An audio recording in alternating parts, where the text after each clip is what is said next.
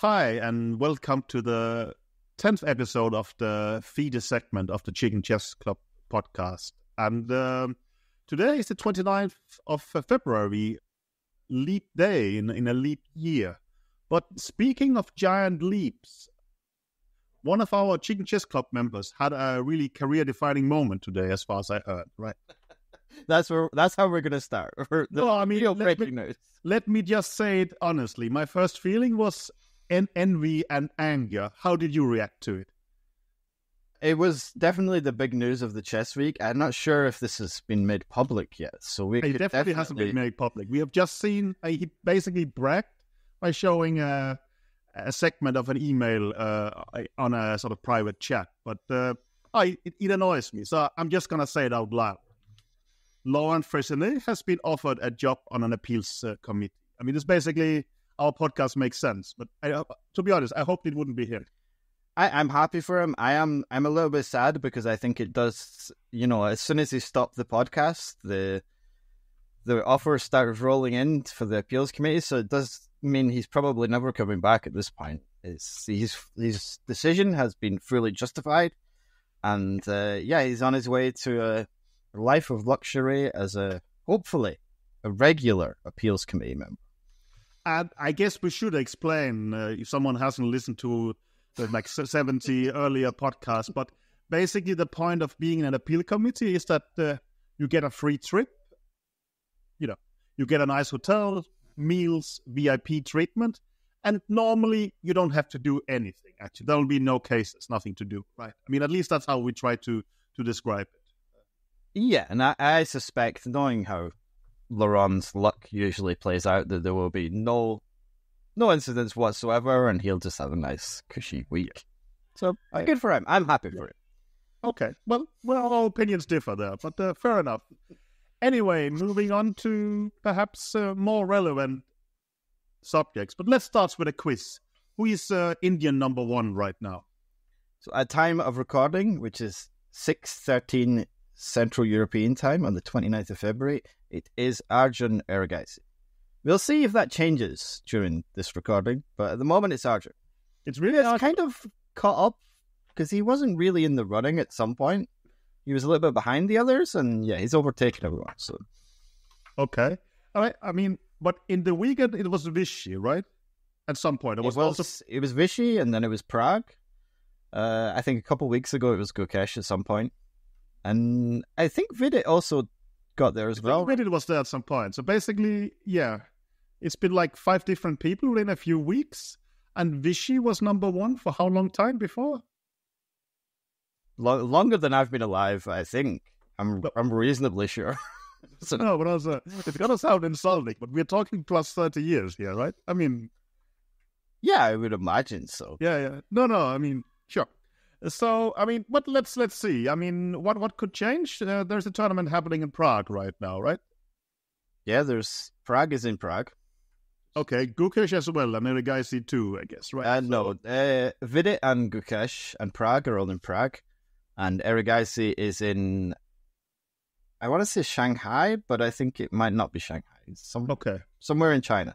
There's Okay. another super tournament with Dubov, Artemiev, Giri, Yu Yangyi, a couple of Uh, others. it's, it's uh, so that is too complicated actually to, to sort of keep keep track of. But uh, should things happen within the next ten minutes, we will will update you there.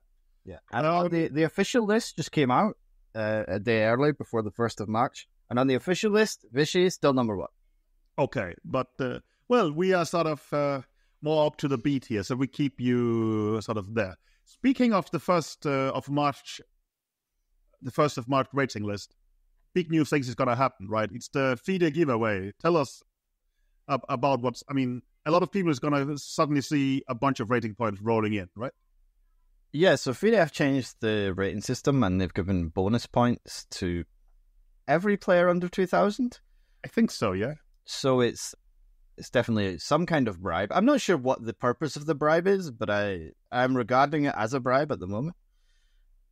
So every player under two thousand, starting at everyone at thousand gets bumped up to fourteen hundred. So there'll be no one under fourteen hundred anymore, and then you get less, like you get fewer points the closer you get to two thousand. So I think it's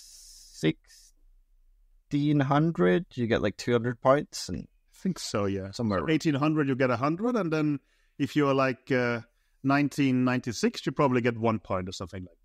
Right? Yeah. And if you're two thousand and one, you get nothing. You get nothing, right? But there's no. I mean, you can never be overtaken by someone behind you. After all, that that much. Uh, I think my, my math is good enough to, to say. But yes, um, that's true. Uh, what, what are we trying to do? Are we trying to avoid uh, some kind of Indian kid suddenly jumping to number one on the rating list, or?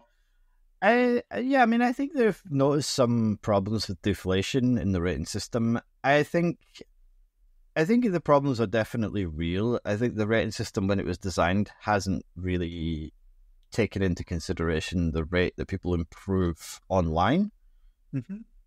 So there's, uh, for example, I saw a player last week who was rated 1200 FIDE and 2000 on chess.com. And he, this wasn't a junior, this was an adult player. He's mid 20s or so. And I've also recently play, uh, talked to a couple of unrated players who are kind of 1800, 1900 on chess.com, and this is their first first year playing over the board chess. So there's definitely some oddities with the rating system at the moment.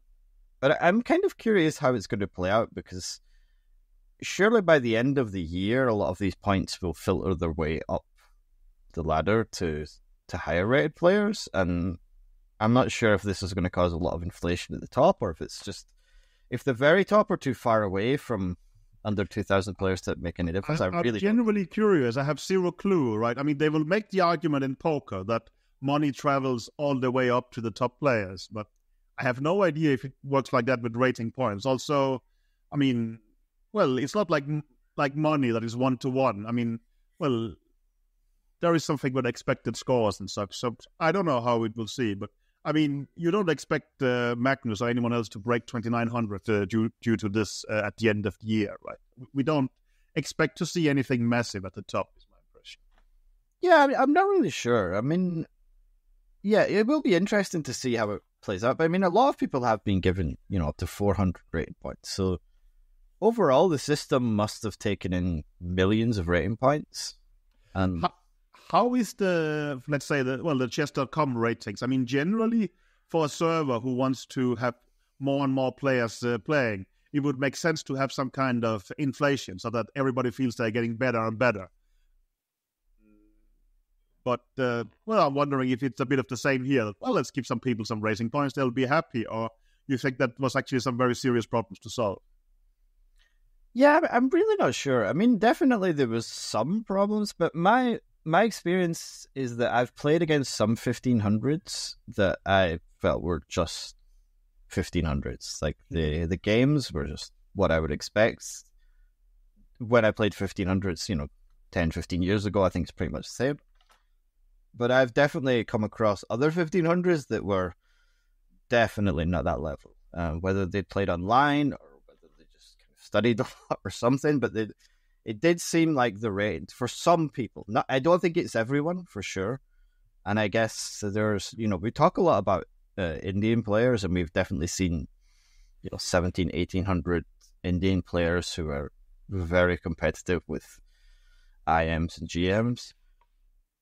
And that definitely suggests that that can be part of the problem. But I think, you know, there's not a huge amount of FIDE rated chess in India. So that's no, but that's more a regional problem, right? That yeah, start start to lowly rated, and there is too few options to you know jump forward. So when they finally get a chance to play somewhere else, their ratings are, are just too low. But uh, I mean, well, also it's rarely that I uh, admit uh, incompetence, but I honestly have no sort of particular skills to to say anything useful about this. Uh, I don't know about you.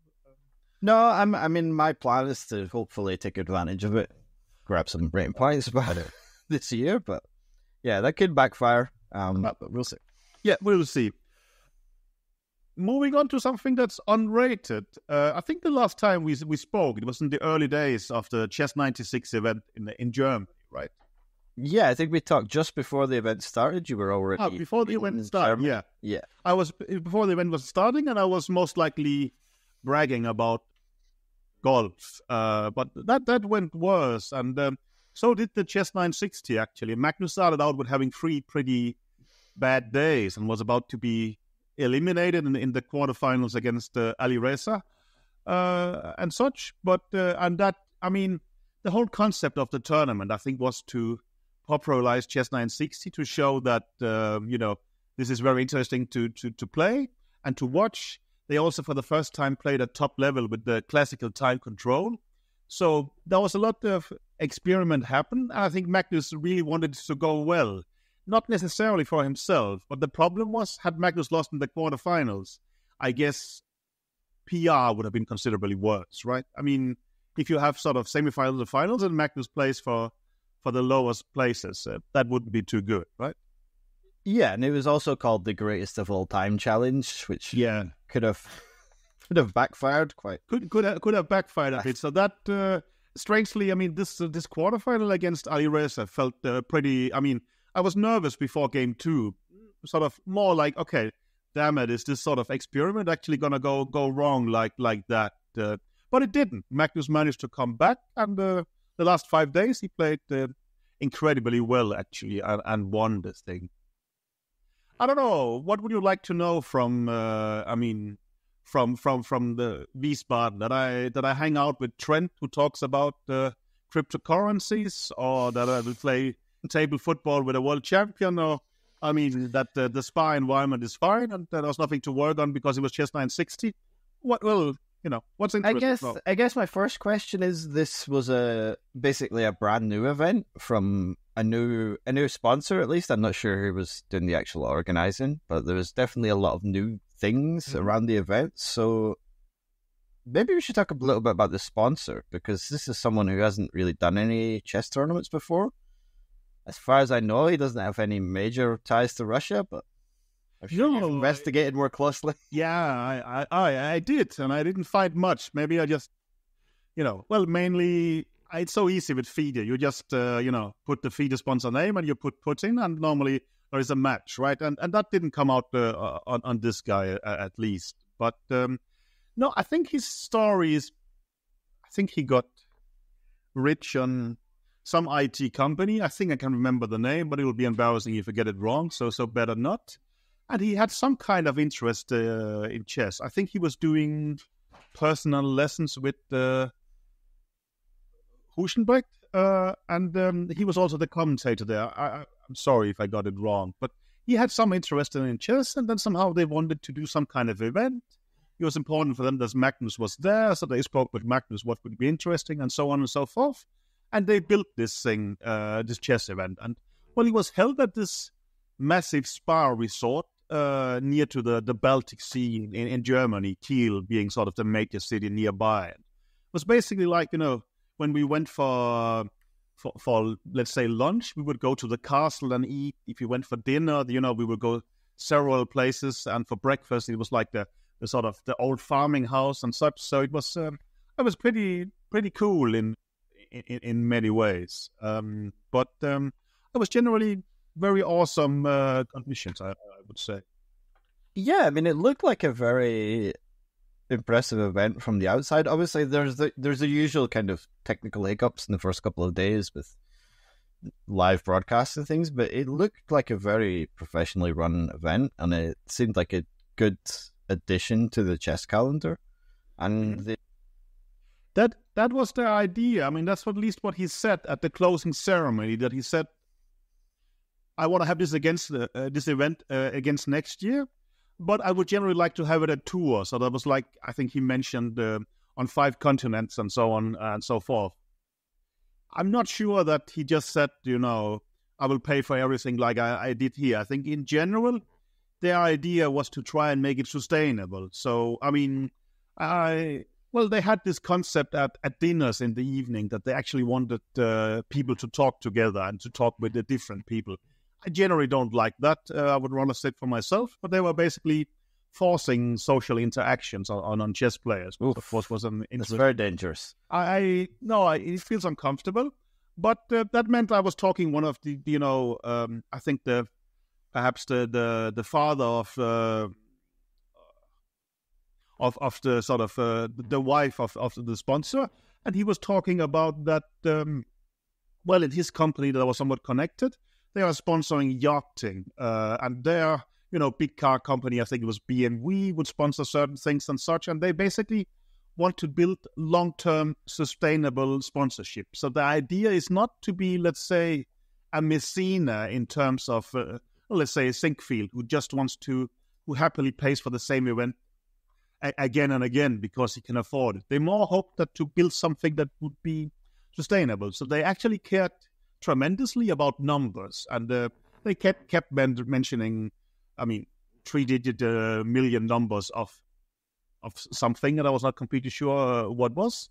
And uh, as you mentioned, the technical part perhaps didn't work too well in the beginning, and that of course is crucial. That if you want to popularize it, it also have to work. And I think even some of the chess servers, the software was not capable of transmitting the games properly in the beginning. But that got much better, I think. And I think generally they managed to make it very viewable and, and quite exciting. Or maybe I'm just too, too biased of it, of really wanting it to work. I thought it was a cool event in many ways. Yeah, I mean, it was definitely very watchable. I think the yeah, I mean, it, I guess with chess events, we're kind of used to the first day or two being kind of yeah. There's always something seems to go wrong, and I think it's pretty standard for us. Yeah, I mean, I guess I'm not sure how watchable Fischer Random is to a kind of non-chess audience or a very amateur chess audience because I think it, it does add an extra layer of complexity sure. where they don't actually know how the pieces are set up at the start, and that can maybe make it a, a, an already difficult game to understand, makes it slightly more difficult.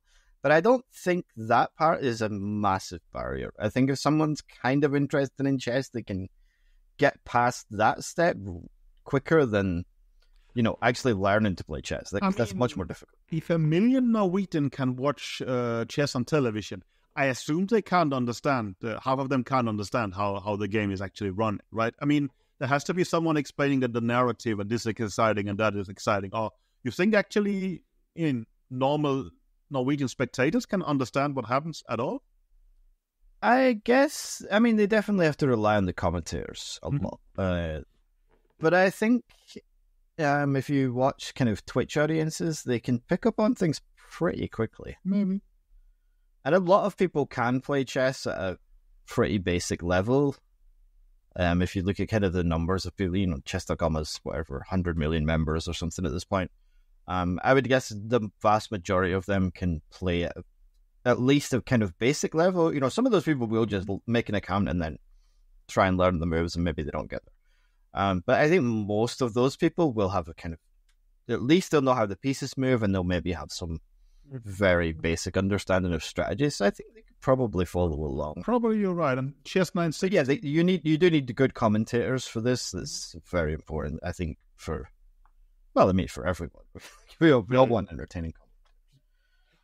I mean, also the players took it seriously. It was quite clear that uh, I think they all cared. Uh, Aronian was extremely happy. He he was third in the end, but uh, he really enjoyed it. Also, I mean, it sounds strange, but Ronan has fallen a bit out of the world elite, right? We've all been used to that he's uh, he is there for all the time, but uh, this time perhaps uh, a little less, and he managed to actually be third and even beat uh, Abdusattorov in, in the fight for for bronze uh, medal. But my feeling was everyone cared and took it very seriously. The only exception, I don't know if it's too sad, I think, to talk about almost was was Ding. I mean, are, are, we going to leave him people Get, people yell at me too much for being mean about Ding. But it's also, I mean, I think we even spoke a bit about it someplace down there. I mean, well, he's the world champion. It is a story that he's doing very badly, right? We do have to address it. Yeah, I mean, I do think that if Magnus was doing this poorly, then people wouldn't be able to shut up about it. And the same with, uh, you know, previous world champions. Yeah. He is the world champion, and it is a story. It's a big story when he he doesn't do well. And I think I do think there's a little bit of patronizing that goes on around Ding, where people, I genuinely think there's quite a lot of people that don't realize that he is actually the world champion and like he, he we don't need to treat him like a baby. I understand that he has had some health problems, like for sure, and he's spoken that you know at some point during the match, even he said that you know he felt like his mind wasn't working. But he did in his most recent interview, he said that he was back you know, he's That's- recovered before Wijk aan Zee. Okay, he didn't play well in Wijk aan Zee, but that's just form to me. Like, I- I genuinely just don't think he's in great form. That's how I see it a bit. I remember, for instance, politicians in Denmark, if they take sick leave and they are away for half a year, we basically decide not to touch them. But if they announce they're back, I mean, you cannot be back half speed. If you, you know, go back into the ring, well, we will treat you, like you're ready, right? I mean, that's how it should be in a way. Uh, and um, Yeah, and I, I do think that, that part of it as well is that Ding isn't like he is the world champion, but he at no point has he been leaps and bounds ahead of the other top players. Whereas, No. you know, at certain points, Magnus on a bad day was still probably world number one. like this, this is definitely when he's like 60, 70 points ahead of everyone else. You know, on a on a rough day, he was just still better than everyone. And Ding isn't that far ahead of everyone else, even if you would regard him as world number two, which he currently isn't. So for him, a bad day is yeah, it does drop him below several people. And also, I mean, it was just 960. I think he's never basically played it before, right? I think, well, he scored horribly. Maybe he, I mean, how many games did he play? He played around 13 games. Maybe he made three draws or something like this. And uh, two of them perhaps was the draw with Clayton. Yeah, but I, I. I mean, okay, the the round robin he was, was a disaster. Like he Uh-huh. lost six in a row and then drew the last one. But with the knockout part, okay, you like if you lose the first one, there's always a much higher chance that you'll lose the second one. So I don't. I think the score is maybe a little bit harsher than it needs to be when you take in the the knockout part. But yeah, he's obviously very much out of form. He is going to play again next month in Grenke, so we'll. We, we- you should be aware of that. Yeah, but uh, I mean, you know, I will be aware in time. Hopefully, we will see. Uh, so, so that that's true. Uh, Yeah, But, also like his his main focus, I guess, should just be the next world championship match. that would be normal, and I think that's sort of the disease. I think we remember from uh, Kramnik and Anand at that uh, they would peak at world championship matches. They would keep their title, perhaps. But uh, I'm not sure Kramnik kept it that much times, but he did. But they would not necessarily or not at all dominate in, in tournaments. And it becomes very rational that, of course, if you're the best player like Magnus and Gary, you can do both. But if you are the world champion, but not necessarily the best player, the clearly best player, why wouldn't you focus on that? And history will, of course, will remember him based on, uh, you know, what happens in, well, what happened in the previous match, he will always be remembered for. But let's say, should he win uh, the next match? Well, that's what would would count, right?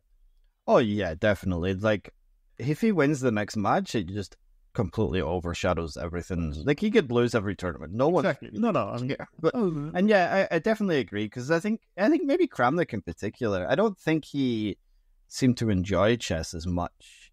Like I think if you look at the way he played chess after he lost the title, uh-huh. he definitely seemed like he was having a lot more fun.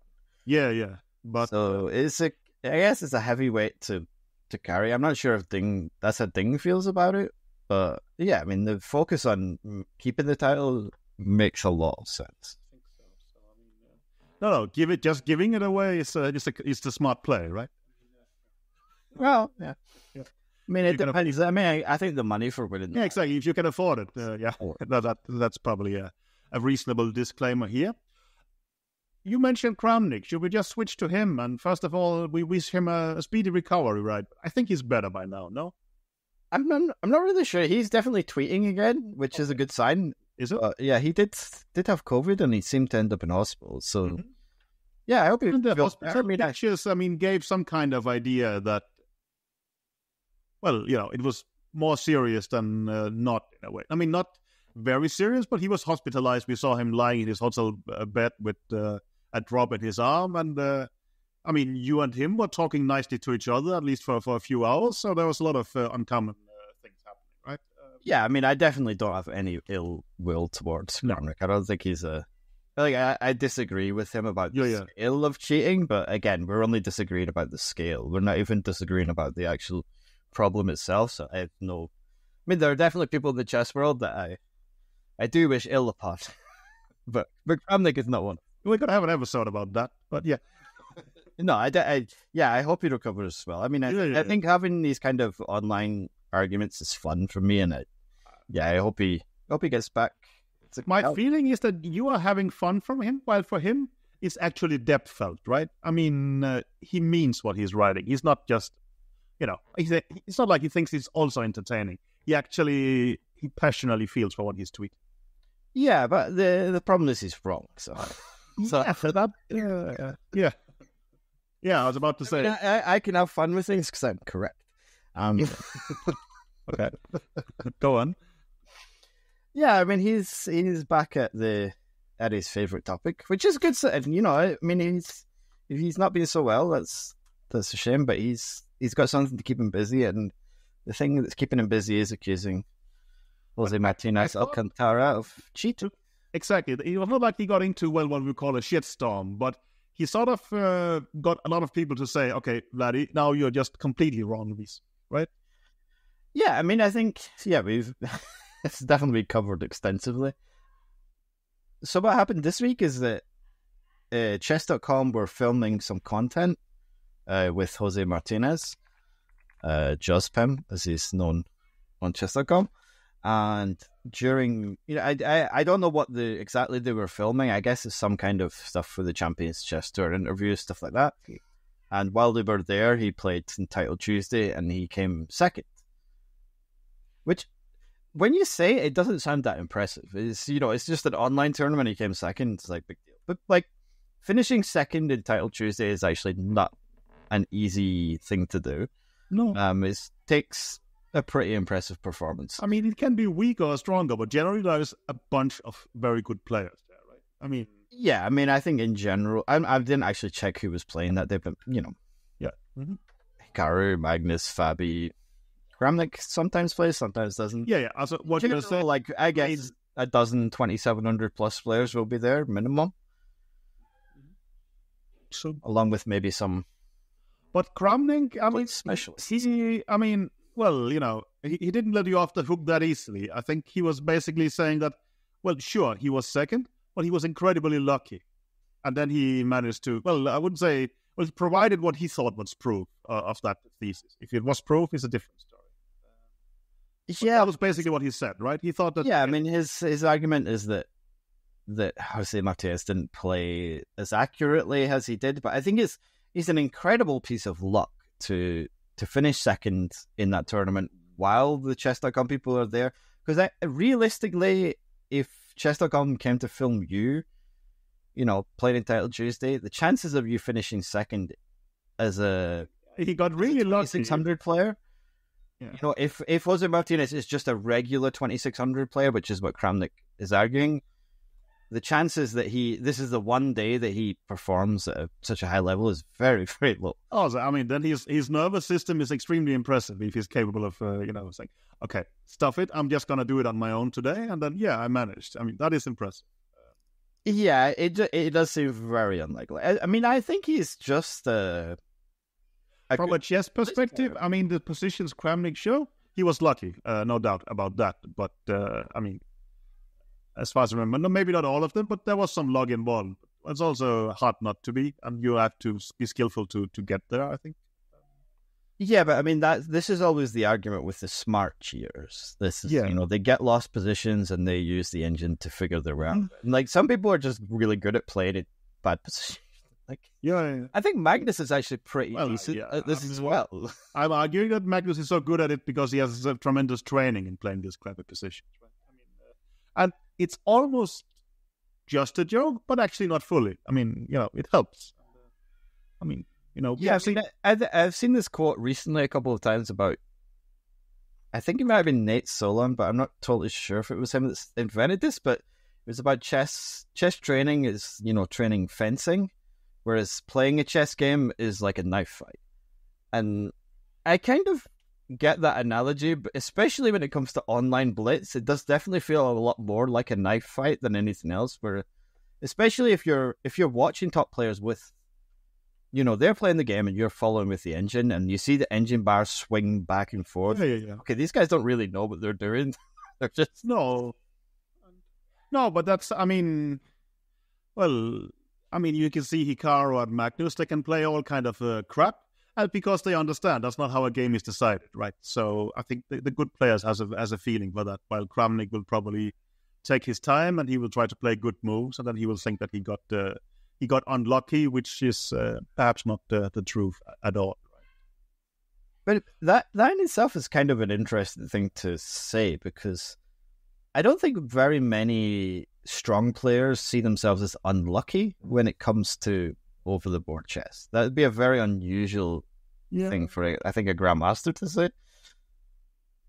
I, I, you hear it very. I mean, it's yeah, it's. I mean, someone arguing that I was you know unlucky in this tournament. I have not really heard this uh, excuse being used at all. I mean, sometimes there's like very strange resources, you know, that maybe just appears out of nowhere. But I think it's very unusual to say to refer to bad luck. Good luck happens quite often. Oh yeah, but bad luck is no. That's I mean, it's a famous Larsen quote. He says there is no bad luck in chess, but there is quite some good luck, uh, if I remember. Or I forgot it was the reverse. But I, th- I think that was the point. Yeah. Sorry, that's a bit embarrassing. Uh, on the subject of Kramnik, my impression is that he tweets a lot. He, he, his, his volume is bigger than mine, for instance, right? Quite possibly. He, he does go on some binges of, of replying to anyone and everyone, I think, at some uh-huh. point. He definitely enjoys social media. Um, but yeah, it's it's interesting the way he he deals with criticism because he, he definitely deals with criticism in a genuine way. Like I, mm-hmm. but he he's also.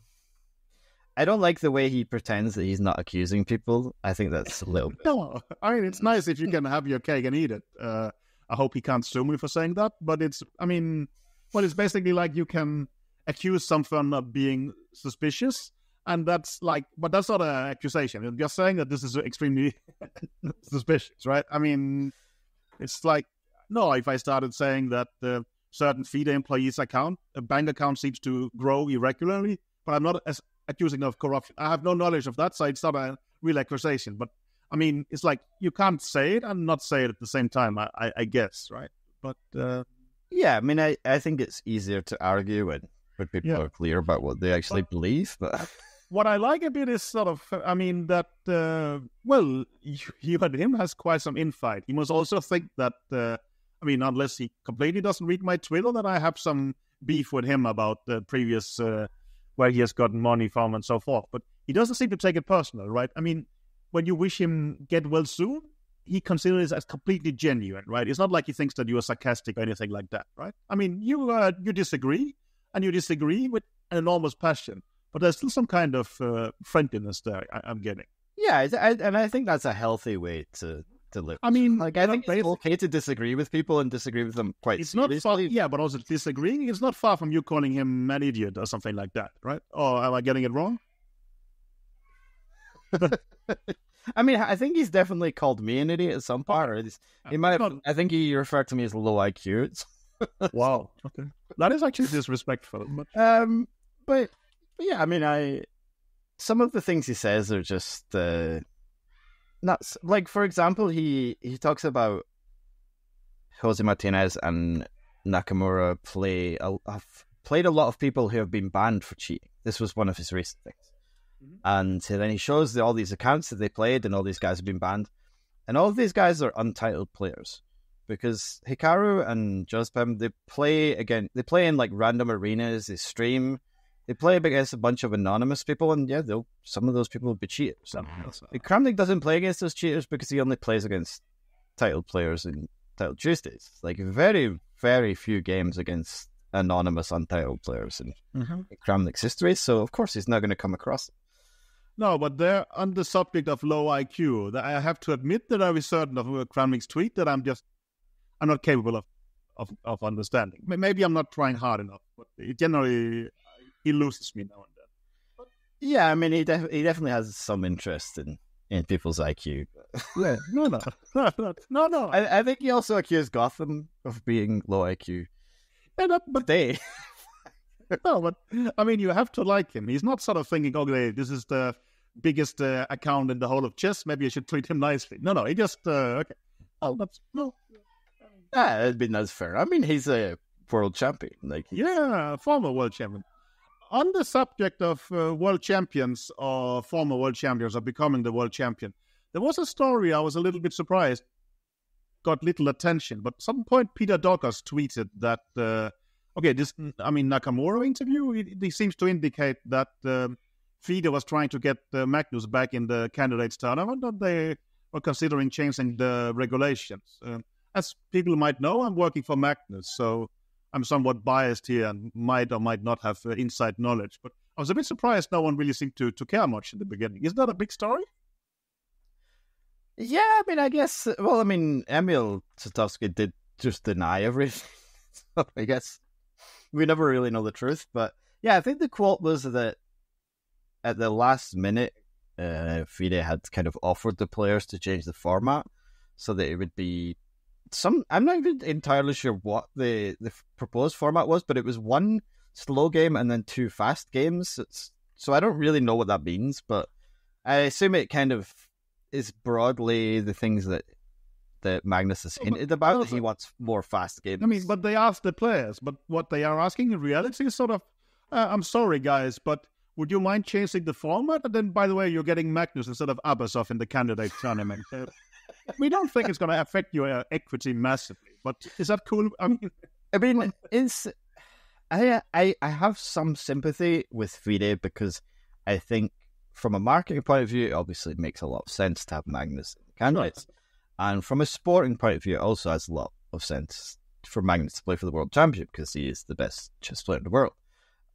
But I think the way they go around these things is kind of insane because I think from a sporting point of view, if you ask any of the candidates, would you like Magnus to play in the candidates? They'll just yeah. say, no, I, I would like to be world champion. Yeah, they would. I mean, if I was the players, I would say, I think that's a bad format change. I mean, yes. So I don't really. I mean, I guess it's the kind of thing that they can't impose upon the players without, you know. They can. They can say this isn't the uh, interest of the sport. We are elected to to to sort of uh, care for. I, mean, I, I think the players would simply refuse to play. Yeah, yeah. But also, like, I think if you ask them, they're just gonna say, "No, it's fine." Like, I mean, Caruana or yeah. Nakamura or Nepo are all just going to say immediately, no, this is my chance to become world champion. Yeah. Uh, they all think they have a very good chance against Ding. So, you know, they, they don't want to. We are literally talking about that accepting Magnus in would be more than halving their chances, right? I mean, I assume. Yeah, I guess. Yeah. I mean, it definitely takes that. And I, am not criticizing the players in no. any way here. This is absolutely the correct decision because there's no reason for them to to make concessions to let Magnus.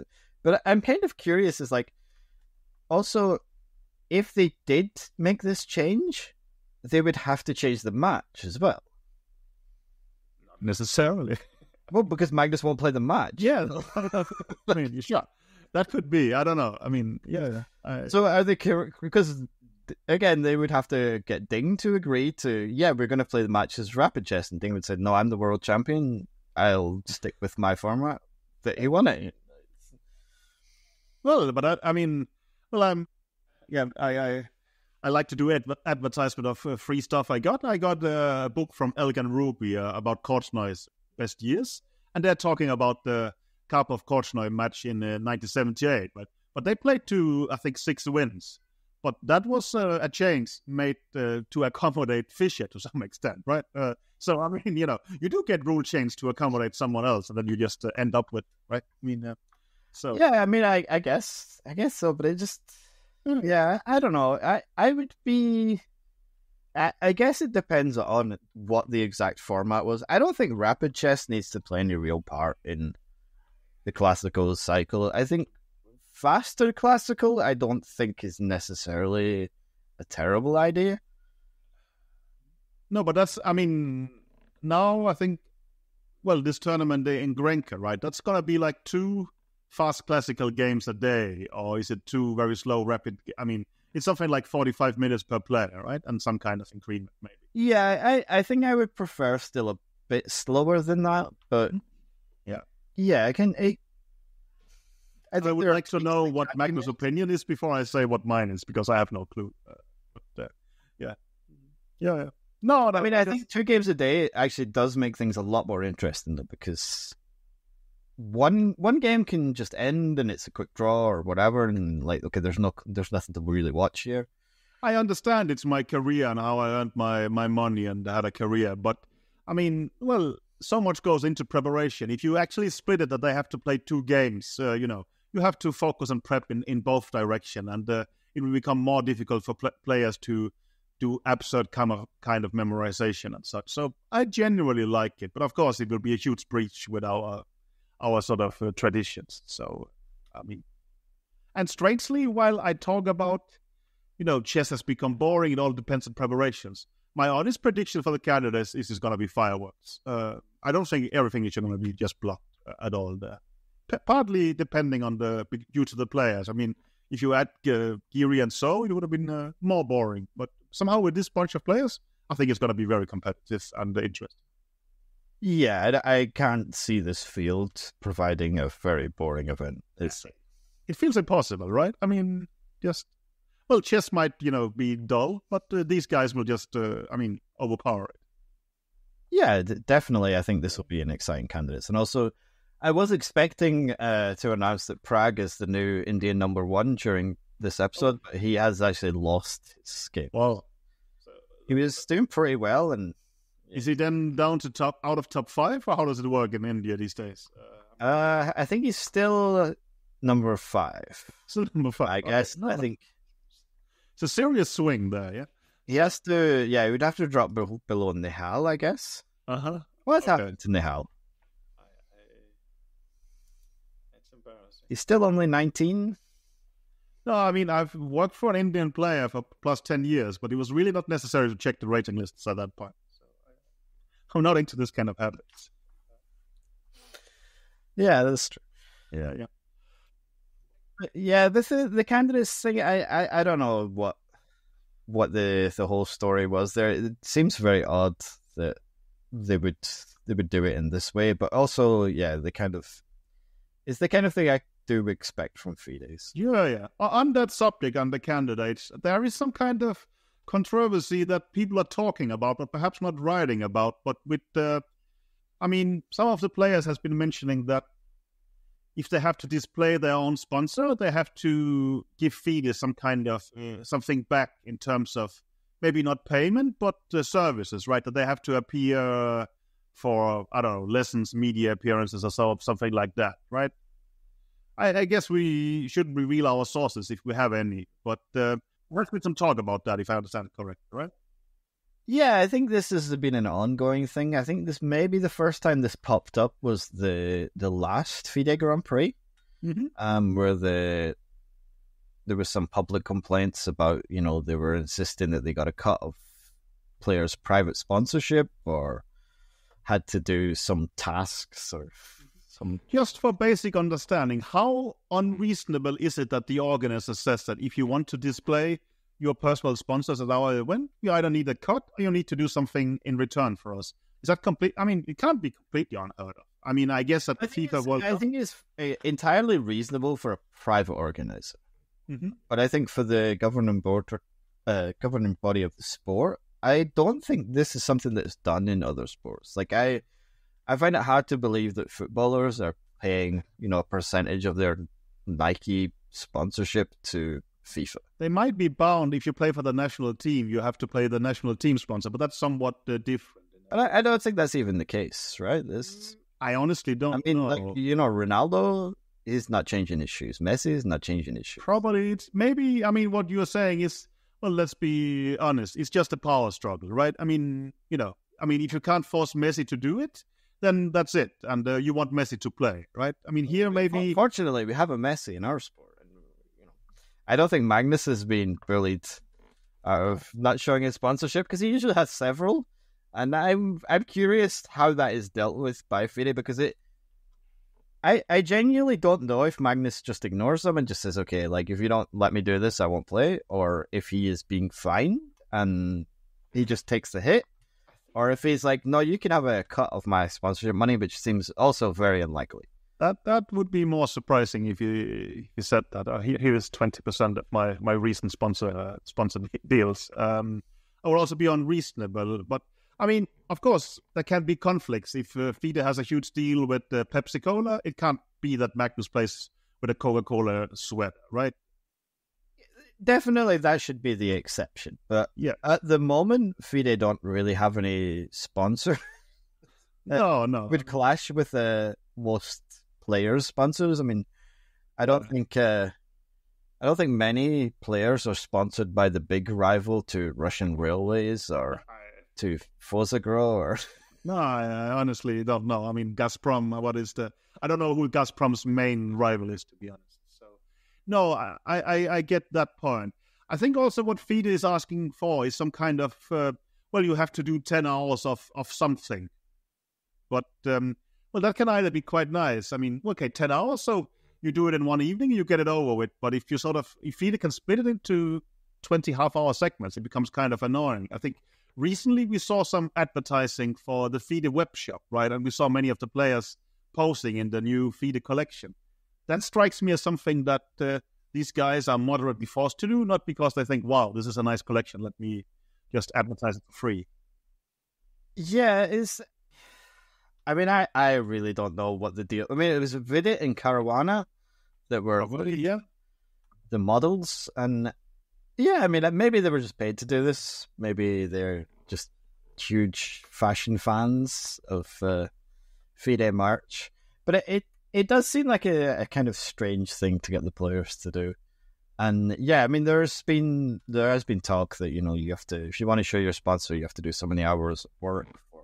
But also, I mean, if FIDE. FIDE are actually forcing the players to promise these hours, at least have something quite useful to do with these hours, right? I mean, else it becomes basically we're forcing you to do something, we have no clue what we're going to actually do when we get it, right?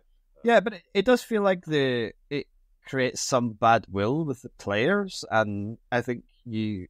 I mean, obviously, a lot of the top players are quite expensive to hire for events, but they're not that expensive when you consider the you know the the prize fund in these events. You know, you could probably just pay them a little bit extra money if you want them to do an event, put on a good event. They'll be in. They'll be motivated to do it because they're being paid to do it, and rather than kind of backs into a corner.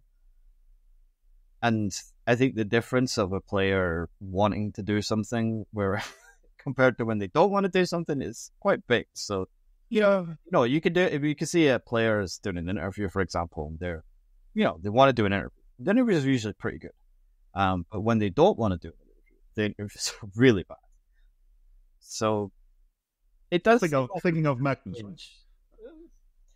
Well, not exclusively, perhaps. the thing is with Magnus, when he doesn't want to do an interview, he- they're usually the best ones because maybe, maybe. is they're short. You can get a very nice clip, and Yeah. then yeah, sometimes it goes viral. So No, fair, fair enough. So. So yeah, that's more or less on my all on my list, unless we want to talk about uh, Karjakin. But maybe we generally don't want to talk about Karjakin. I guess, right? I mean, I could Well, talk. I one thing I'm curious about. I mean, we this is the FIDE podcast, and we haven't really talked about FIDE or Russia very much. But I'm kind of curious: has anyone just made a, a complaint to the ethics commission about what he's doing? Because he is very much doing worse things than he was doing for the by, by a by a large uh, degree, but I think no one has put uh, a complaint to the FIDE Ethics Committee about Karjakin. I know the German Chess Federation was intending to do it, and they wrote to a lot of European countries asking them to join, but uh, mm, very few replied. Even fewer said they would do would join. So they seem to have given up on that. But this idea you are saying that everybody can just file a complaint that is not clear legally speaking. I mean, you have to have this kind of what's called legal standing, and uh, I mean, well, by by rules, it's FIDE who has to protect the image of FIDE the image of a sport. That's the I mean, the FIDE council can do it, the FIDE president can can can do it, maybe also the FIDE management board. But if anyone else can do it, is somewhat unclear.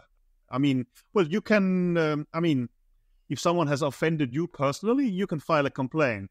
But to file a complaint, I mean, I don't think I could file a complaint. I say, Mr. Dodgy is, you know, creating disrespect to the game of chess. I mean, well, it has to be, well, I mean, there has to be some kind of angle there, I think, or it has to be extremely grave. And I think that could be the argument that Karjakin's is so bad that it affects every chess player in the world, and we could do something like that. But uh, anyway, Yeah, I mean, I guess it, it definitely doesn't affect every chess player, but it does seem to me like there has been a precedent set at least with this previous behavior, and I mean, to Um, be honest, I'm a little bit unsure why they don't do it because Karjakin is a lost cause for them anyway, and banning Karjakin could be a pretty good PR victory uh, for them in a way, and something that costs them very little. The only reason I can come up with that uh, it will be uncomfortable for Dvorkovich, uh, and that uh, would create some tension in Russia that would not be good for him. That's smallest. I mean, why why would they not uh, ban him? It would be great for FIDE. They punched Karjakin as hard as they can, and Karjakin can do his stuff in, in Russia anyway. yeah, and I, he definitely is still playing. His tournaments are FIDE rated as well, so he's definitely Are they- still within. Are they FIDE rated? They are FIDE rated. Yeah, I checked. The rapid ones? Yes. Wow. Wow. That's So- embarrassing that you know more about this than me. So he is still playing FIDE rated games, which means he's well within their jurisdiction. Yeah, yeah.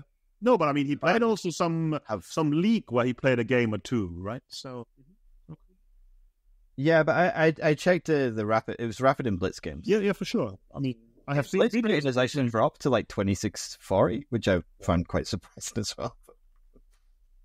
Because I mean, traditionally, has he's always been very strong blitz. But I think he's is he a former world champion in blitz? Yeah, for sure. Uh, he is in Blitz or Rapid for sure. I mean, he's referred to himself as as a, a world champion, so that's uh, Yeah, I'm pretty sure at least in blitz, maybe both actually. I think he might be the only one that's won both, other than Magnus. that could be. Um, But yeah. Also, speaking of people who could potentially be banned, I do actually think the Kramnik could suffer from an ethics commission thing at some point because it, also he has been playing FIDE raid games, so Mhm. he's still within FIDE's jurisdiction, and they've banned people for making unfair accusations in the past. They didn't ban Magnus, but it. no, they fined him. other- Uh, they fined him for not uh, for for withdrawing from a tournament, right? yeah, which was strange. Uh, I Yeah. Well, they yeah. Anyway, yeah. Let's not uh, go there. But that is true. I mean, but no, you're saying that. But who could do it? I mean, you suppose. Well, I mean, that, who could who could re- report Kramnik? I, I can give you a list of yeah, yeah, yeah. that about seventy different people now. I mean, I mean, there's a lot of individuals who can do it. There is probably chess.com could do it in general, and I assume FIDE could also do it, right? For sure. I mean, so Yeah, I mean, probably. I don't think Kram. I don't think uh, Hikaru could do it because I think Hikaru has benefited too much from Kramnik's accusations. maybe, maybe in in a I, I do have I do have some sympathy for Jose Martinez. It does seem to be, from his tweets at least, he does seem to be affected by it. It's, I mean, during this, uh, I forgot what the online tournament was called. I was actually Nepham who was making uh, some kind of, I don't know, accusations was maybe too strong, but he was, uh, I forgot the English word for it, sort of. But yeah, he was insi- insinuating, it, right? I mean, insinuating quite heavily. I mean, when you say nothing you can do and a smiley after having lost, I mean, it's not as at Kramnik level, perhaps, but it's still, uh, it's hard to understand it in any other way, right? Oh yeah, I mean, he definitely knows what he's doing, but Yeah, yeah, a little bit more subtle about it. And Mm-hmm. Yeah. okay, so so was Magnus. Like Magnus knew what he was doing when he said when he posted the Jose Mourinho thing. So So, so you claim, but yes. Yeah. No, it, it was just an entirely random clip, and it's not. Yeah. It was. Uh, Okay. I mean, yeah, fair enough. But uh, yeah, I, yeah. I, I, I kind of. I, I mean, I think okay, you can. There's a line somewhere. I don't know where the line should be, but I think I would be very surprised, uh, knowing that they have, you know, banned people for accusations before. That Kramnik, I would be very surprised if Kramnik hasn't crossed that line already. And I think that you know nobody really wants to do anything because officially he's retired. He doesn't really play Yeah. classical anymore. But he's still playing FIDE. no, but also, I mean, I understand you might not believe me, but at sometimes I'm holding back with critique on Twitter, especially let's say towards people in. I mean, I have no evidence of people getting paid uh, in FIDE for certain things and so on because I don't have evidence for that. I really assume I cannot just start of uh, throwing out uh, wild rumors uh, or things I, I believe without having any kind of back, right? I thought that's how legal things work, but about this cheating thing, I mean, I will almost say the problem is if you go after somebody, someone will say, okay, what about the 10 others who said similar, right? I mean, isn't that where we are? Yeah, no, I mean, if you go back far enough, you know, Hikaru is maybe was at some point probably the worst one for accusing people of cheating. Uh, like, maybe I don't know. And definitely, you know, there's there's been other people. I think in general, streamers tend to be pretty reckless for this kind of behavior because they're live and you know they, you know, the mouth just speaks without connecting with the yeah, brain. Yeah, yeah. So there's some some leeway there. But I guess you know at some point someone has to. But from a FIDE ethics committee perspective, it doesn't matter if, if 20 people have done it. No one, I mean, you know, one could do a case and we will get a verdict uh, on it, right? But yeah, uh, I mean, I mean, we definitely are trying to find more work for the FIDE ethics committee. Yeah, yeah. Uh, but oh. they still haven't found it. We still haven't given them a new job.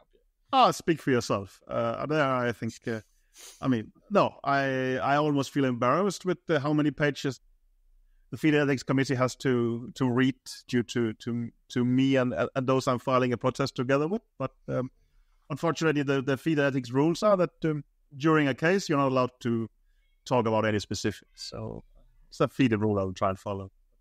We have an ongoing case. Let's see how it if it ever ever gets a verdict. But uh, that's a different story. Yeah, I mean, I guess they're they're pretty slow, is my impression. But I, I, from the cases I've read, they seem to be reasonably fair. I mean, I, I haven't lost any respect. To say that they're slow is, I don't know. I mean, for instance, the Karjakin case in 2022, they did rather quickly. And um, for instance, the appeal of Karjakin, they also did rather quickly and they answered very thoroughly, in, in my opinion. If anything, I was surprised with that we are talking about people who is doing this for free after work hours. I mean, that is they, but they were there was a time like there was a time sensitive element to that because the the candidates was coming up. I understand, but from a FIDE ethics committee point of view, they could say, "And so what?" I mean, uh, well, it's not our problem. I mean, we have a legal system, and that's uh, how it is. Yeah, but I, I guess the the problem would be that it would bring chess further into disrepute by having him mm-hmm. playing yeah, candidates. Yeah. Maybe so you're right. It would create further Just, damage. So there was. And I, am not sure. I, I'm not sure if that's what the actual. What I'm trying to say is that with appeals committee, I think Laurent really hit the jackpot. Being on the FIDE Ethics Committee, that could be quite some work, actually, if you want to do it properly. Uh, yeah, I mean, I've definitely I've read some of the cases, and the yeah, that does seem a lot more work than. I mean, I've seen some of the appeals decisions, especially yeah. the World Rapid recently, where you just you know you look at someone's shoes and say, okay, those are completely unacceptable, and that's yeah. I mean, that's I mean, as a tournament dictator, you would basically just say yes or no based on how you feel, right? I mean, this yeah, kind of much. Yeah, yeah. But, depends uh, on your mood. Depends on your fashion sense for some inexplicable reason. No, no, no. no, I mean, well, the ethics committee will actually refer to not only earlier cases within the the, the FIDE ethics systems, but in general sports law. I mean, they have read. Uh, I mean, they're skilled lawyers. They have read law books. They have read previous cases in other sports and so on and so forth. I mean, an appeals committee decision will just be, you know, well, with a bit of luck, they might refer to some something in the rule book, right? But uh, I mean, yeah, I mean, I, I believe uh, at some point someone googled the definition of sneakers and posted the Wikipedia. Yeah, yeah, yeah. which was yeah, yeah. Which, fair enough. I mean, so yeah, yeah. So I guess I guess that's everything on our list for this. I'm afraid so. Any... Anything out? Not really. No. I'm. I'm. I'm so that was our 10th episode. I don't know if that means goodbye or we're going to go on and stuff. We'll see, I guess. Yeah. Well, maybe okay. we'll do 10 more. we'll see. I mean, they should feed uh, create content. We might. Who knows? Yeah. They, they seem pretty good. yeah, that's that's true. But yeah, we'll see. And maybe we'll do we'll have some kind of candidate specials. Ah, that's true. Yeah, yeah. They're good. I, I think I, I don't know how we can drag Jan and Laurent back in. We might have to trick them at some point. You can maybe tell them I'm not going to be there, but I don't know. Or yeah, no, I don't know. Well, we can just uh, we should just ask, right? So yeah, yeah, we could ask. I mean, I think Laurent's in an excellent mood at the moment. His his dreams have finally come true. I think. I'm I'm as I said, I'm jealous and always a bit surprised that the uh, you Laurent always get there in the end somehow. Uh, you know, we have to respect that ability. Okay. Well, okay, thanks for listening, everyone. Yeah. See you next week. Bye. Bye.